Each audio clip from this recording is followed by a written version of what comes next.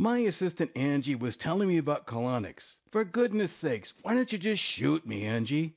Shoving a pipe up your backside and turning the water spigot on is right up there with having bamboo shoved underneath your fingernails. It's barbaric. I don't even think Caligula did something this gross.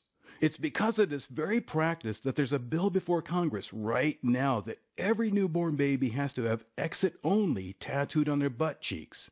I didn't make this up.